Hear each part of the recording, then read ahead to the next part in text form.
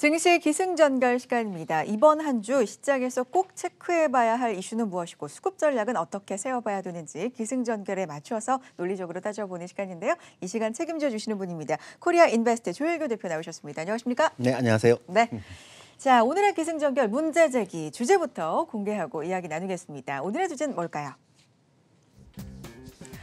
기승전결 깁니다. W형 바닥 head and shoulder. 어, 뭐 쌍바닥이라고 우리가 흔히 예, 예. 표현을 하는데 이건 차트상의 이야기를 하시는 것 같은데 사실 지난주 금요일이었잖아요. 대표님도 금요일 시장 보시면서 예. 굉장히 좀 어, 많은 생각을 좀 하셨을 음. 것 같은데 금요일 급락을 하는 시장에서 이번 주 들어서 그래도 다행히 이틀간 견조하게 반등을 해주는 모습인데 그래도 투자자분들은 이게 완전하게 안정 국면에 들어선 건 아니다라고 생각하시는 분들이 많을 것 같습니다. 뭐 그런 의미에서 정하신 게 아닌가 싶은데요. 그 지난주나 지지난주까지만 하더라도 네. 굉장히 많은 분들이 그런 얘기를 하셨어요. 뭐 점도표, 금리 발표 전에. 근데 최근 들어서 사람들의 관심, 그러니까 가장 많이 입에 오르내리는 용어 자체가 이중바닥 아니면 음. 헤드앤숄더 이게 굉장히 많이 예, 오르내리더라고요. 네. 그, 그 얘기는 뭐냐면 음. 지금이 그 굉장히 큰 시장의 흐름에서의 그런 변곡점이기 때문에 아닌가라는 생각합니다. 즉 이중 바닥을 찍고 올라가면 추세가 상승 수준에 올라갈 수도 있지만 네. 헤드앤숄더형은 기술적 분석 상으로 보면 완전히 상승 수세가 꺾인다는 의미거든요. 음. 그러니까 그런 딱 변곡점에 놓여 있기 때문에 음. 그런 얘기가 나오지 않나라는 생각을 하고 있고요. 어, 준비한 자료 하나 볼까요? 그러니까 여기서 어떻게 움직이느냐에 따라서 향후 시장 방향이 굉장히 달라질 수 있다. 굉장히 중요하죠. 이런 말씀이시죠. 예, 네. 굉장히 중요한데 네. 자 코스피 200의 주봉 차트를 보면서 설명을 좀 드릴게요.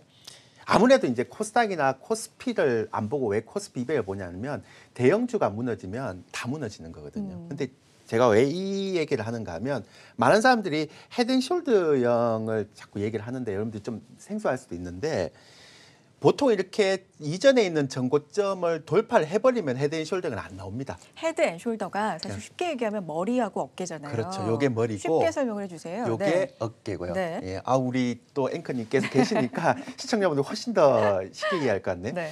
그러니까 요게 머리고요. 요게 어깨인데 음. 어깨 부분이 머리를 못 넘고 만약에 내려와서 이 저점을 깨면 이제 일반적으로 추세가 이제 상승이 꺾이고 음. 이제 하락으로 돌아선다라는 얘기를 하는 게 기본적인 형태입니다. 물론 네. 이제 주봉상으로는 깨지는 큰 추세는 아니고 일시적으로 깨진다라고 얘기를 할 수 있는 거죠. 근데 이제 문제는 지난번에도 한번 왔다가 잘 지지됐죠. 네. 이번에도 지지됐죠. 그리고 이제 요번에 이제 내렸다 또 이렇게 월요일 기준이니까 이렇게 지지가 됐어요. 근데 음. 문제는 뭐냐면 이게 빨리 올라와야 되는데 못 올라오니까 여기서 굉장히 음. 지지부진한 모습 보니까 이게 올라갈 가능성보다는 떨어질 가능성이 높다 아니면 올라갈 가능성이 높다 이런 것들을 굉장히 얘기를 많이 하는 거죠. 그런데 마침 또 그런 상황에서 금요일 날 미국 중국 무역 전쟁 탁 얘기가 나오면서 시장이 80% 떨어지니까 사람들이 더 겁을 먹게 되는 거죠. 음. 그래서 오늘은 이 부분에 대해서 진짜 여러분들이 얘기하는 이중 바닥을 형성할 것인지 아니면 head and shoulder이 될 것인지를 하나하나 이슈, 수급 그리고 전략을 통해서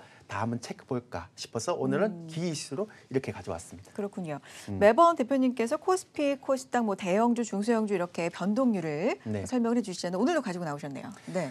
어, 바뀐 게 없습니다. 왜 음. 제가 이걸 자꾸 가지고 오는가 하면 네. 그 미국의 반등률은 여전히 좋아요. 나쁘진 않아요. 음. 근데 확실히 나스닥이 이전보다 훨씬 좋잖아요. 근데 지금 보면은 대형주가 확실히 좀 올라가고 있고요. 중형주가 확실히 떨어져 있는 음. 장세입니다. 근데 제가 왜 이걸 매번 가, 가지고 오는가 하면 앞서 말씀드렸지만 여기서 이렇게 반등하는 폭 있잖아요. 이렇게 떨어졌다가 네. 이렇게 반등하는. 그러니까 여기서 이만큼 100으로 떨어졌다면 100에서 얼마나 반등하는지, 얼마나 반등하는지, 얼마나 반등하는지 요 비율을 가만히 따지 보면 네. 요것들이 밑으로 떨어질 수 있는지 아니면 다시 올라가는지의 세세한 힘의 변화를 알 수가 있단 말이죠. 음. 그래서 제가 계속 요렇게 가져오는 겁니다. 요 변동폭에 대한 것들을. 근데 아직까지는 대형주 쪽이 세잖아요. 그리고 어, 미국의 나스닥 쪽이 좀 세거든요. 그러니까 전체적으로 봤을 때는 이런 비율을 봤을 때는 이중 바닥을 찍고 갈 가능성이 좀 더 높다라는 쪽에 무게를 좀 음. 두고 싶다라는 얘기를 하는 거죠. 음. 그러니까 대형주가 가니까 지수 전체도 올라갈 가능성이 높다. 생각을 하시는 예, 겁니까? 대형주가 잘 버텨주니까. 네. 그러니까 음. 상대적으로 시장이 떨어지더라도 버티는 힘이 좋으니까 음. 이 이중 약간 마침 저점 깨져버리면 네. 헤드앤숄더형이거든요. 그러니까 음. 저점이 깨질 가능성이 상대적으로 좀 적다 이렇게 음. 얘기 드릴 수 있는 거죠. 알겠습니다. 자, 이제 시장 전략으로 가기 위해서 이 주제를 점점 전개시켜 나가 보도록 하죠. 기승전결 승 공개하도록 하겠습니다. 자, 어떤 이슈를 살펴보도록 할까요? 아, 미국과 중국의 무역 전쟁 과연 악재인가라는 게 증시 기승전결의 승입니다. 아무래도 미국과 중국의 무역 전쟁 때문에 지난 금요일에도 그렇게 급락이 나왔고요. 오늘 어, 어제부터 우리 시장은 좀 어, 다소 반등하는 흐름을 보여주고 있는데 오늘 또 나오는 얘기가 우려가 다소 완화되는 분위기다라는 얘기거든요. 자, 과연 악재인가? 과연자를 붙여주셨거든요. 어떤 의미입니까? 제가 뭐 이 시간을 음. 나오면서 계속 얘기했던 게 그냥 이런 거 노이즈니까 좀 신경 쓰지 마라. 음. 그냥 실적이나 기업의 경기만 보면 된다라는 얘기를 되게 많이 했는데 네. 또막 월요일 날 80% 떨어지니까 또 이게 막 사람들이 이슈를 막 갖고 오더라고요. 결론부터 얘기하면 네. 이런 거 신경 쓰지 마시고요, 여러분들. 그냥 기업 실적이라든지 경기만 보시기 바랍니다. 어. 자, 이게 지금 미국과 무, 어, 최근까지 뭐 우리가 한 100년 정도 역사를 보면서 그 무, 과거의 무역 보, 보호무역주의가 어떤 사례로 나타나는지를 제가 한번 체크를 해봤어요. 네. 근데 이제 1929년 대공황 때요. 음. 이렇게 대공황이라면 경기가 되게 안 좋아진 상태잖아요. 그 다음에 어, 지금 스무탈리 그리고 관세법 제정하면서 대규모 고관세 도입 이게 이제 보호무역의 시작인데 요때의 네. 특징이 뭐냐면 대공황이 되니까 다들 이제 음. 그러잖아요. 경기가 안 좋아지고 그러니까 날 살기 위해서 그냥 우리가 보통 참 내가 여유가 있을 때 말고 내가 여유가 되게 없으면 내 거부터 먼저 챙기려고 그러는 그렇죠. 그런 형태의 흐름이죠. 네. 두 번째를 보면 1980년대 이제 석유 파동 후에 미국의 제로 성장, 제로 성장이라는 건 성장률이 거의 없다는 거죠. 요때 이제 자국의 자동차 산업 보호하기 위해서 수입 상한제를 도입을 했죠. 그죠? 네. 그러니까 요때도 경기가 안 좋았을 때 얘기를 하는 겁니다. 음. 세 번째를 보면 지금 과거 무역 2001년도 이제 IT 버블이고 9.11 테러 잘 기억하시죠, 여러분들? 네. 그때도 이제 미국이 또 제로 성장이 났고, 음. 그때 이제 철강 세이프가드 나왔고 그때 고관세 도입을 했는데 이때도 경기가 안 좋을 때였어요. 음. 그럼 공통점은 과거 무, 보호무역이 나왔던 그 모든 사례를 보면 경기가 안 좋을 때였는데 지금은 다르다는 말씀이세요? 지금 경기 얼마나 좋아요. 음, 네. 오히려 경기가 너무 좋아서 금리까지 그렇죠. 인상해야 될 정도니까 음. 과거 무역 보호무역하고 완전히 다르고요. 두 네. 번째는 그러면 이런 보호무역이 왜 나오는가? 지금 앞서 얘기 드렸던 거 보면 미국의 무역 적자, 그러니까 미국이 아 중국이 너무 심해라고 생각하는데 얼마나 심한가 보면 음. 지금 이게 파란색이 EU고요. 그 다음에 중국이 대무역 대중국 무역 네. 적자거든요. 미국에 너무 급속하게 증가되잖아요. 이렇게 음. 보면. 그러니까 이걸 줄이려고 하다 보니까 미국의 트럼프 대통령 입장에서 굉장히 강력하게 들어간다라고 보는데 지금 입장에서는 그렇게 강력하게도 문제가 되는 게 뭐냐면 미국의 국채 보유 비중의 규모가요. 네. 중국이 보세요. 어. 최고죠. 그러니까 막말로 얘기하면 중국이 마음만 먹으면 국채 팔아버리면 굉장히 큰 금융시장에 혼란이 온다는 거 알 수 있죠. 국채 얘기도 요새 나오고 있잖아요. 네. 맨- 왜냐하면 지난번 금리할 때도 이제 국채가 문제가 됐던 부분이 네. 있기 때문에. 근데 이제 일본이 2위인데요. 일본은 미국하고 굉장히 사이가 좋죠. 네. 그러니까 중국에 대한 부분들을 딱 봤을 때 실질적으로 이런 부분들의 영향이 좀 있다. 그러면 지금과 같이 경기가 좋을 때는 서로 건드리지 않는 게 음. 일반적인 형태라고 보는 거죠. 그럼 왜 이런 현상이 일어날까? 네. 어떤 얘기를 하던가요? 언론에서는 제가 볼 때는 트럼프가 11월 중간 중간 선거 선거. 있기 음. 때문에. 근데 그 중간 선거가 있기 때문에 정치적인 어떤 협상이 굉장히 강한데 재밌는 거는 미국이 중국에 가장 수출 많이 하는 게 대두예요. 음. 대두 보니까 제가 한 46.6%를 수출을 하더라고요. 근데 중국이 만약에 국채가 안 건드리고 대두 수입만 딱 줄여버렸다. 근데 대두가 많이 생산되는 미국 전역의 그 형태를 보면 7, 80%가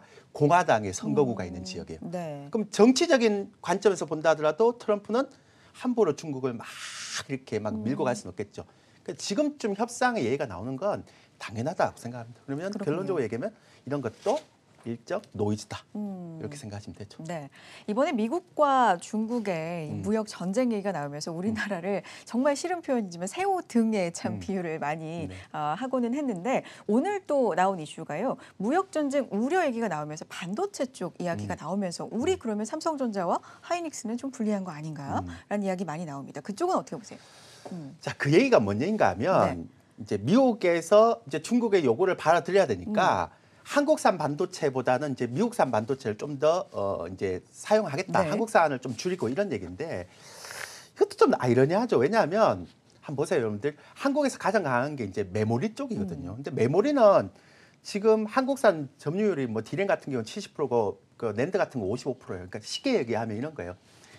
옛날에 그 메모리 같은 경우는 컴퓨터 부품 이렇게 쓰는데 요즘은 그런 게 아니거든요. 모든 서버부터 시작해서 4차 산업이 되면서 모든 쪽에 다 쓰거든요. 그러니까 마치 원자재처럼 들어가는 거예요. 네. 근데 만약에 중국에서 그렇게 좀 음, 바뀌게 되면 딴, 딴 나라로 그냥 수출 비중을 늘리면 음. 되잖아요. 그러니까 내가 너무 많이 예를 들어서 그 호박이라는 채소가 너무 잘 팔리는데 네. 어쩌겠어 나 우리 너네 호박 안 쓸 거야 그러면 그래 너네 호박 쓰지만 딴 곳에 팔면 되지 뭐 음. 이럴 수 있단 말이에요. 네. 그러니까 제가 얘기하는 건 중국이 아마 미국 우리 한국 쪽의 비, 어, 메모리를 그 반도체를 좀 줄인다라고 얘기하는 건 아마 메모리 쪽이 아니라 비메모리 아. 쪽이라는 거죠. 그 비메모리 쪽은 한국은 다소 영향이 없어요. 음. 그러면 일본이 오히려 더 피해가 갈 수 있는 그런 부분이 있다. 그러니까 좀 제한적이다. 음. 그렇게 얘기하시면 됩니다. 예. 반도체 이야기가 나올 때마다 메모리인지 비메모리인지 뭐 네. 디램인지 이런 좀 구분이 필요할 것 같다는 그렇죠. 생각을 항상 해보게 예. 됩니다. 알겠습니다. 자 기승전결 좀 더 전개시켜 나가보도록 하죠. 전 보겠습니다. 기승전결 전은 어떤 이슈로 잡아보셨을까요? 시장 수급 문제 있나라는 이슈인데요. 어, 주간에 시장 수급에는 어떤 변화가 일어나고 있는지 한번 살펴보도록 하겠습니다. 일명 검은 금요일이라고 불렸던 지난 금요일에 기관이 코스피 시장에서 굉장히 대량으로 이제 매도 매물을 내놓으면서 시장이 출렁거렸는데 한 주 동안 수급 변화 한번 보죠. 그때 이제 굉장히 기관들이 많이 파니까 사람들이 되게 급내하잖아요. 네. 음. 근데 이제 그 속을 잘 들여다보면 좀 달라요. 왜냐하면 이게 이- 3월 23일 날 토요일인데요. 아, 저 금요일인데 외국인들이 8,715계약 정도 선물을 매도를 쳤어요. 근데 이걸 동시효과 때 플러스로 1,877계약을 돌려버렸어요. 어 정말 그래서 저희끼리 사실 네, 얘기 좀 네. 했죠. 그런데 그 그날 또 토요일 날 새벽에 막 해외 증시가 빠졌을 때 음. 제가 이거 돌렸으니까 상관없을 거다. 외국인들이 만약에 시장이 더 월요일 날 더 빠질 것 같으면 선물 매도 친 거 가만히 놔두면 그냥 떨어지면 이익인데 왜 굳이 이걸 청산하냐 그랬는데 결국 보세요. 월요일 날 화요일 날 올라오잖아요. 음. 근데 더 재밌는 거 뭐냐면 여기서 특이한 게 여러분들이 금요일 날 80포인트 떨어졌을 때 기관들이 한 6천억, 7천억 팔고 외국인들이 천억 팔아서 와, 8천억 파니까 야, 이거 너무 많이 파는 거 아니냐? 이렇게 네. 생각하는데 음. 시장만 흔들리지 보세요, 지금. 수급 차트 제가 매번 보내주는 수급 차트는 음. 2개월 전이나 지금이나 차이가 별로 없어요. 네. 그러니까 시장이 확 떨어지면서 굉장히 많이 한때 그날 하루만 이렇게 많이 파는 것처럼 보이니까 음. 그것만 보니까 겁을 먹는 거예요. 근데 한 한 달 누적을 해보면 안 무너지잖아요. 음. 그 시장만 변동성 있는 거예요. 이렇게 수급은 거의 변동성이 없어요. 근데 더 중요한 거 제가 하나 보여드릴게요. 네. 되게 재밌는 건데요. 우리 옛날에 볼 때 비차익 수급 요것밖에 안 왔잖아요. 근데 오. 이만큼 올라갔어요. 네. 이 비차익이 뭐냐면 프로그램 매수 매도와 상관, 아니, 그러니까 저기 차익, 그러니까 선물과 현물의 차익과 상관없이 추세로 가는 그냥. 음. 그러니까 이렇게 시장을 막 흔들어 놓고도 외국인들은 계속 비차익을 매수를 강화시키고 있다는 거죠. 음. 수급 아무 이상 없습니다. 단 문제는 제가 지난번에 했죠. 2년 만에 롤오버가 마이너스 됐다. 네. 그리고 최근에 수급이 굉장히 선물이 마이너스가 됐다. 이래서 웩더독 현상 좀 어렵죠. 뭐냐면 꼬리가 몸통을 흔든다. 음. 그럼 여기서 현물이 몸통이고 파생이 꼬리죠. 네. 그러니까 파생을 가지고 막 시장을 흔들어대는 거예요. 음. 근데 이런 거는 항상 한계가 있어요.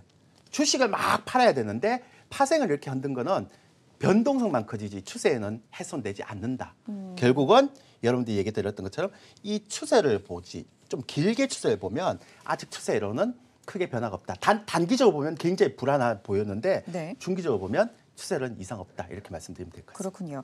정리하자면 외국인들은 파생 상품으로 그러니까 그게 꼬리라는 음, 맞죠. 얘기죠. 예. 꼬리로 시장의 변동성을 좀 확대시키고 있고 몸통에 해당하는 현물 수급에는 지장이 없다라고 음. 정리를 해주셨습니다. 자, 설명해 주신 거 외에도 수급적인 측면에서 좀 더 눈여겨 봐야 될 점이 있을까요? 그 제가 최근에 보고 있는 그 수급인데요. 네.